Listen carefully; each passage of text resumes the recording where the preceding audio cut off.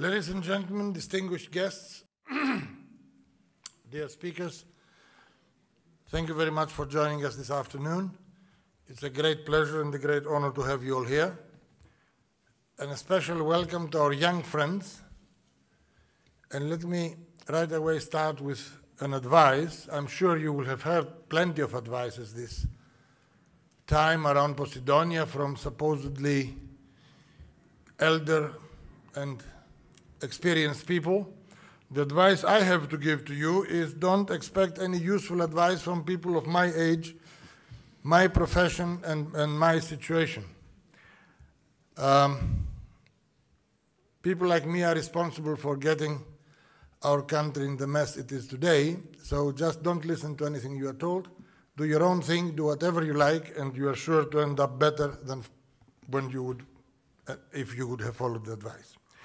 The second comment I would like to make, uh, as I gather, this is um, a seminar or a conference about the ship management company of the future. Um, I'm a bit old to give advice on this also, because I grew up in a period where ship, man ship management was extremely simple. At that time, you would buy a very old rust bucket, operate it for a few months, and then hope to buy a second old rust bucket. Luckily for everyone, these times are long past, and we have today a very, very, very substantial change, at least in the shipping as we know it here in our country. I'm sure you are, you are all aware that the Greek flagged fleet is the youngest in the world, and the Greek owned fleet is among the youngest in the world, and certainly very close to the average age of all other peer fleets. Now, together with the company of the future, we touch upon the subject of digitalization.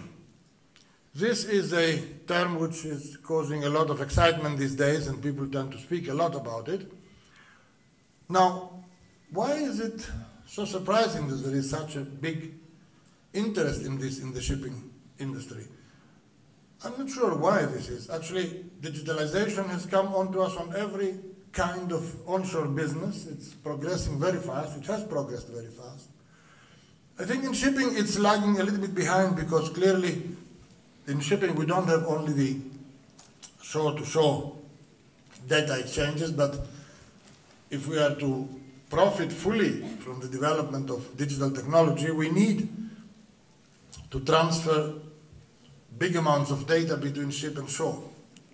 And as we all know there, there are still substantial challenges, especially regarding the speed of transfer. So once this is developed further and the speeds approach anything near the fast speeds which we are used today in the onshore business, I'm sure this whole concept will take off.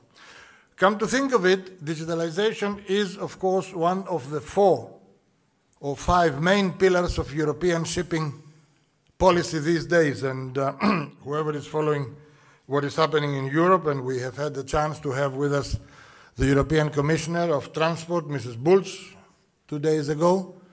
Uh, she always speaks about this. So digitalization is one of the four main issues.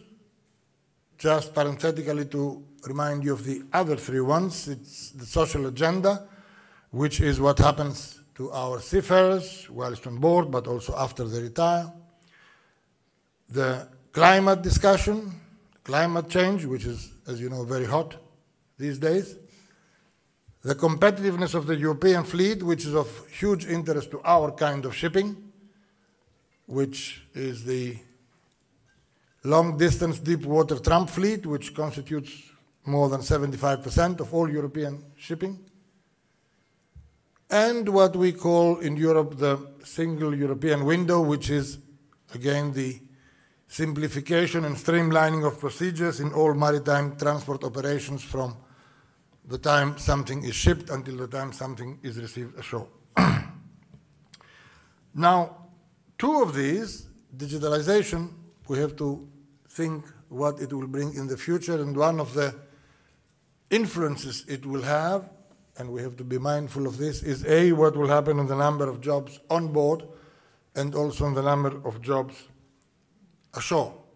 And we may substitute working places by digital processes, but we will never be able to substitute sound human judgment gained by experience and long service, either when somebody is on board and has to face a difficult situation, or when he will be called upon after his career is finished to serve a shipping company um, ashore.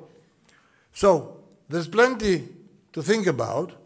Let me just end by saying that clever people in Europe and in the Commission and in Brussels calculate the effects of the future profits of, for European industry and services from digitalization uh, is, is measured in tens, many tens of billions of dollars. So, in short, we have to live with it, we have to adapt to it, and we have to show that we can manage the tremendous changes that are coming upon us. I'm sure that both our academies and also our universities and the other schools which prepare young people for the maritime industry are very well in a position to educate them in a sense and in a way that they will be profiting and they, because they will be the ones introducing these new digital concepts into our business and of course we have to wait and see where all this will be will be leading. Um, I think we are all very grateful for our distinguished panelists and the distinguished speakers, which, of which we will hear more in a while. I don't want to take more of your time. Uh, I'm very grateful to see so many young people here, especially the people from our academies. Very well done. Thank you for coming.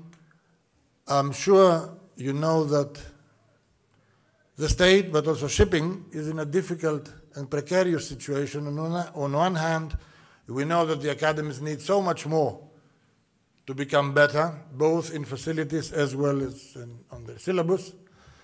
On the other hand, the shipping companies have to do much more to encourage people, young people, to turn to the seaman's profession, and it's, it's unacceptable simply that we have young students and young cadets looking for a job when we are proclaiming that we don't have enough officers here in Greece. So, welcome once again, enjoy the afternoon, and thank you very much, Ilya and the organizers, for having me to address this very interesting gathering. Thank you very much.